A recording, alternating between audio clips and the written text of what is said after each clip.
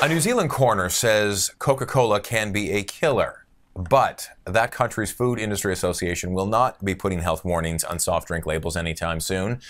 A coroner's report states that 31 year old Natasha Harris died from a heart attack and that the large amounts of Coca Cola she drank was likely a substantial factor in her death. Harris drank two gallons, two gallons a day now, the coroner in the case asked soft drink makers to include caffeine levels on labels, as well as health warnings on the dangers of too much caffeine. But the head of the New Zealand Food and Grocery Council refused, saying there isn't, quote, a labeling regimen in the world that could have prevented the death of someone who drank so much cola.